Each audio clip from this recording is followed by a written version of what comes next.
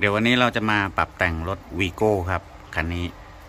ลูกค้ามาปรับแต่งแล้วก็เพิ่มแหนบเข้าไปอีกนะฮะ จะให้ดูชุดช่วงล่างของลูกค้าก่อนนะครับช่วงล่างเขาจะประมาณนี้ครับ น้ำหนักยังไม่พอนะฮะที่จะรับได้สำหรับแหนบ 12 มิลนะครับ 12 มิลเขามีอยู่ประมาณ 4 แผ่นนะฮะแล้วก็เขาเสริมแหนบมาเขาไม่ได้ เอาตัวรัดออกหรือว่าเขาไม่มีแหนบขั้นกลางนะครับ จะทำให้แหนบชิดกันเลยนะฮะเวลาวิ่งรถเบาก็แข็งนะครับ เห็นไหมฮะแหนบที่เราเสริมไปนั้นไปชิดอยู่ด้านบนเลยมันก็แข็งครับอย่างนี้ แล้วก็จะมีตัวรัดตัวนี้ไว้ตัวรัดตัวนี้เขาก็จะมาทิ้งน้ำหนักอยู่ที่แหนบตรงนี้อีกก็ยิ่งแข็งเข้าไปใหญ่นะครับ แล้วก็แหนบงอนะครับแหนบกอด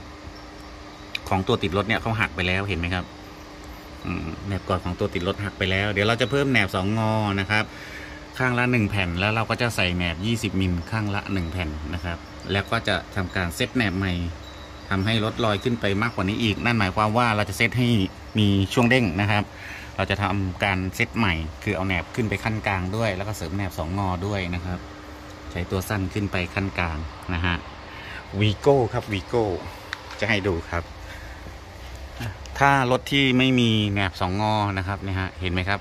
แหนบตัวเนี้ยแหนบตัวติดรถเขาเนี่ยจะโค้งขึ้นนิดนึงเห็นไหมฮะเพราะว่าเขาโดนแผ่นที่สองเนี่ยดันอยู่นะครับ ดังนั้นแหนบตัวเนี้ยแหนบหูเราจะทำงานหนักนะจะโค้ง ตรงนี้จะโดนแอนหน่อยๆเห็นไหมครับ ซึ่งเราจะเซตใหม่นะครับ เอาเข็มขัดออกแล้วเดี๋ยวเราจะใส่เหล็กรัดแหนบเข้าไปด้วยนะครับ ตัวเนี้ยเข็มขัดเนี่ยเห็นไหมครับถ้าเราเซตแหนบให้มันชิดกันเนี่ยเข็มขัดเขาจะลงมานั่ง อยู่กับแหนบกระดาน ดังนั้นไอ้น้ำหนักมันก็จะมาทิ้งอยู่ตรงนี้ด้วย มันก็จะถูกแหนบกระดานเนี่ยดัดขึ้นไปมันก็จะโค้งนะแหนบหูเราจะทำงานหนักหรือก็จะโค้งผิดรูปได้นะครับ ดังนั้นคันนี้เดี๋ยวเราเสริมแหนบสองงอเข้าไป แล้วเราเพิ่มแหนบ 20 มิลเข้าไปข้างละ 1 แผ่น แล้วก็ใช้ตัวสั้นนะครับ ขึ้นมาขั้นกลางเพื่อให้ลดลอยขึ้นไปอีกนะฮะลูกค้าอยากได้รถเบานิ่มด้วยนะครับ ให้ดูครับทั้งสองข้างนะคันนี้เป็นตู้ทึบนะครับรถหนักอยู่เหมือนกันนะฮะดังนั้นถ้าตัวเขาหนักเนี่ย เราก็ต้องเซตให้มีช่วงเด้งนิดนึงนะเวลาขับรถเบาก็จะได้นิ่มอืมเห็นไหมครับ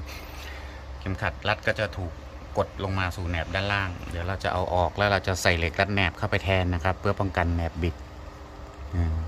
ให้ดูครับเห็นไหมฮะข้างนี้ยิ่งแอนเยอะเลยดูครับ เพิ่มแหนบสองงอเข้าไปก็ดีนะฮะรับน้ำหนักได้นิดหน่อย แล้วก็ช่วยป้องกันนะครับแหนบหูทำงานหนักอะแหนบกอดของเขาหักหมดเลยทั้งสองข้างเห็นไหมครับ อันนี้แนบกอดเป็นตัวที่สองนะฮะเห็นไหมฮะตัวติดรถก็ชอบหักครับนี่ให้ดู แล้วก็เอาตัวนี้ออกนะครับแล้วเดี๋ยวเราจะใส่แหนบขั้นกลางขึ้นไปด้วยใส่ 20 มิลเข้าไปด้วยเห็นไหมครับว่าแหนบล่างแหนบกระดานกับแหนบชุดบนของเขาเนี่ยชิดกันเลยนะครับเห็นไหมฮะอย่างเงี้ยรถแข็งนะครับ เวลาวิ่งเบาๆวิ่งเปล่าๆก็จะแข็งเดี๋ยวเราเซตให้ใหม่วิ่งนิ่มกว่านี้แน่นอนรอติดตามชมนะครับ โอเค คันนี้เป็น Vigo ครับ Day 4D ใส่กระทะของโยชนบุรีอืมเป็นขอบเท่าไหร่ขอบ 14 ครับ กระทะโยชนบุรี เป็นกระทะบรรทุกครับ อันนี้ลูกค้าใส่มากี่ปีแล้วครับเนี่ยผมเพิ่งใส่ครับ ได้ประมาณสองเดือนเองอ๋อ ได้สองเดือนใช่ไหมฮะยังเก่ายังอยู่เลยก็โอเคนะฮะกระทะโยชนบุรีของผมก็ขายอยู่เหมือนกันนะครับ นี่ครับ อยู่ประมาณนี้นะช่วงล่างนะครับเดี๋ยวเราเสริมแหนบให้ รับน้ำหนักได้มากกว่าเดิม แล้วก็ขับเบาก็จะนิ่มกว่าเดิมแน่นอนนะครับ เดี๋ยวเสร็จแล้วเดี๋ยวถ่ายให้ชมอีกรอบหนึ่งนะครับ นี่ฮะเราจะให้ดูเห็นไหมครับ ว่าเข็มขัดตัวเนี้ยเขาจะไปกดอยู่กับแหนบนะฮะดังนั้นเวลาที่รับน้ำหนักแล้วเนี่ยเมื่อไปกดสู่แหนบกระดานเนี่ยเห็นไหมกดต้นแหนบกระดานเป็นหลุมเลยนั่นหมายความว่าจุดรับน้ำหนักเขาก็อยู่ตรงนี้ด้วยดังนั้นนะฮะเดี๋ยวเราจะเซตใหม่เพื่อจะเอาออกนะครับ จะไม่ให้เขากดอยู่อย่างนี้นะครับ เขาจะต้องทิ้งน้ำหนักอยู่ตรงนี้ นี่ดูดูดูลูกยางเห็นไหมลูกยางไม่มีรอยสึกเลย นั่นหมายความว่าเวลาบรรทุกเนี่ยน้ำหนักมันไปลงอยู่ตรงนี้อย่างเดียว ลูกยางไม่ได้มีโอกาสไปชนด้านบนเลย เห็นไหมฮะดูลูกยางก็เลยไม่สึกไม่หลอเลยเห็นนะฮะน้ำหนักมันไปทิ้งอยู่ตรงนี้ครับ ดังนั้นเดี๋ยวเราเซตให้ใหม่นะฮะอย่างนี้ไม่ถูกต้องนะครับอ่านี่ให้ดูฮะ อันนี้ก็ลงนะ ชิดแต่ว่าคุณดูนี่ ช้มานานนมแล้วนะกินจนดูสึกเข้าไปเยอะเลยเห็นนะฮะอันนี้รอยจุดต่างๆ ที่มันเป็นร่องรอยที่ไม่ควรจะเกิดนะครับ แต่ว่าถ้าเขาเซตแหนบอย่างเงี้ยคือลูกยางต้องใส่สูงนะครับ เพื่อให้หัวท้ายเนี่ยรับกันได้ โดยที่อย่าให้เข็มขัดลงไปนั่งนะฮะหรือไม่ก็ต้องขั้นแหนบขั้นกลางเข้าไปเพื่อให้ลดรอยขึ้นไปอีกนะครับ อย่าให้ตัวนี้ลงมานั่ง แบบนี้ไม่ได้นะครับผิดสูตรครับ